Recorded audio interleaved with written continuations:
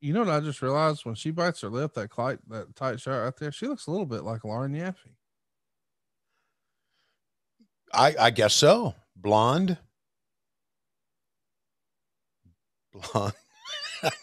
I guess. What are we watching right now? We're watching She's- stretch. She's stretching, baby. Oh, look at that.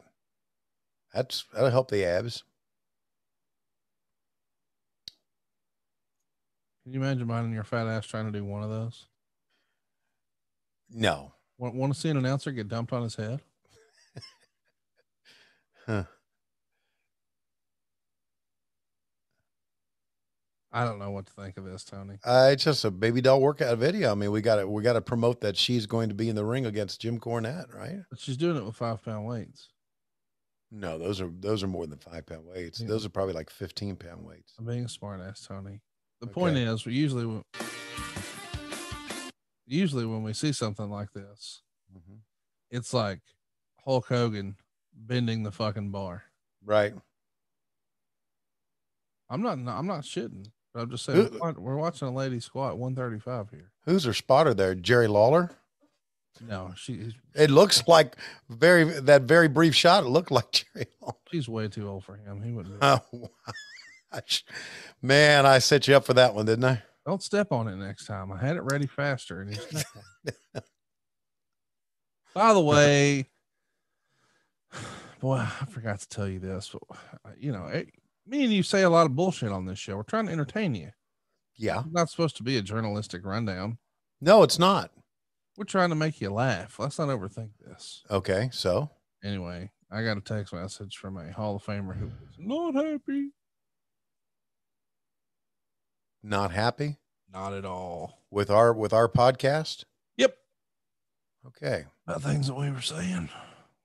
What hall of what what exactly did we say that this Hall of Famer is not happy about? I don't know, but I denied it. And they sent me links. And I was like, oh, yeah, maybe. That was a long time ago. I don't remember. Sorry. It was old stuff. Oh, good.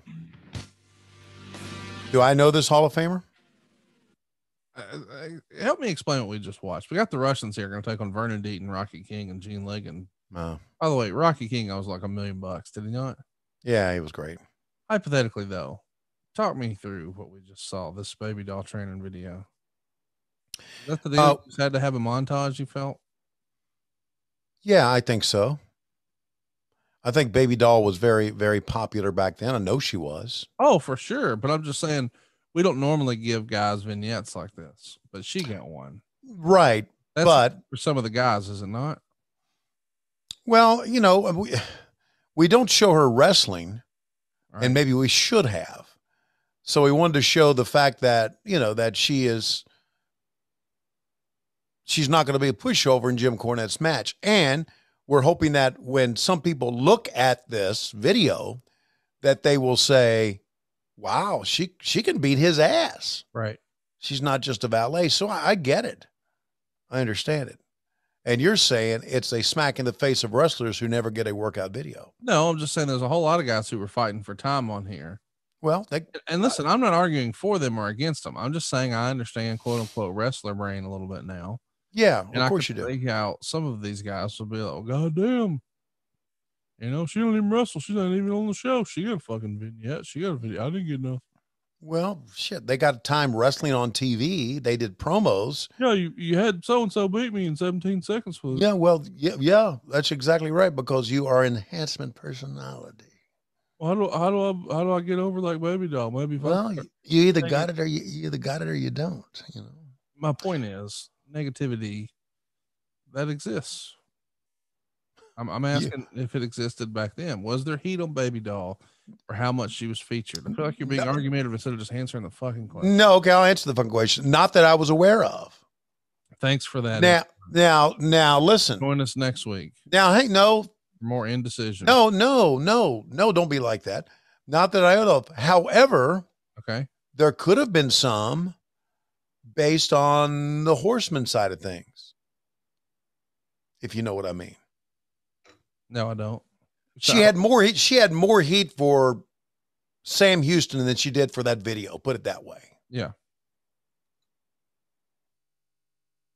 So there you go.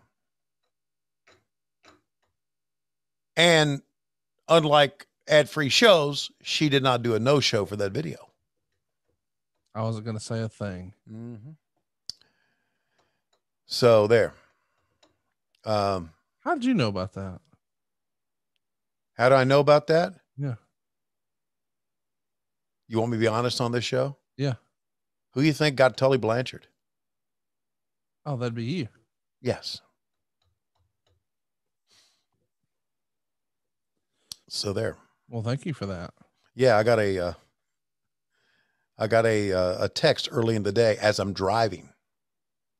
A uh, a text like, "Oh my god, oh my god, can you help anybody help out?" And I immediately said, "I'm driving, but I'll see what I can do." Bing. You- know what's cool? Normally, I would have been involved in that, but Yeah. I think they knew since I was in Mexico, Uh huh. they just left me alone. Yeah. So you didn't know I, you didn't know I got involved in that, huh? I didn't know there was a problem until I saw there was already a resolution, and I'm like, boy, look at this. Yeah. I got thrown a curveball and they fixed it. Should have known. Yeah. They, they went to Marietta. Mm-hmm. You pulled out your bag of tricks. Yeah. Uh, actually, I pulled out my bag of tricks on the road in Virginia somewhere. I mean, I, I actually did that voice texting, did the whole thing. And candidly, Mm-hmm. I think everybody'd rather hear from Tully Blanchard. Yeah. And candidly,